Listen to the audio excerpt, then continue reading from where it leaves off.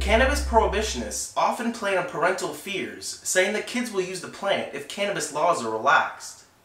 However, a study just published in the Lancet Psychiatry disproves this unnecessary concern. Scientists examined 24 years of data for more than 1 million teenagers aged 13 to 18 in 48 states. They concluded that medical cannabis does not increase youth use. According to Dr. Kevin Hill, the growing body of research that includes this study suggests that medical marijuana laws do not increase adolescent use, and future decisions that states make about whether or not to enact medical marijuana laws should be at least partly guided by this evidence. The framework of using a scientific method to challenge what might be ideological beliefs must remain an important driver of future research on marijuana policy. Additionally, the study is supported by a 2013 report by the Colorado Department of Health and Environment that found that high school cannabis use dropped from 22% in 2011 to 20% in 2013.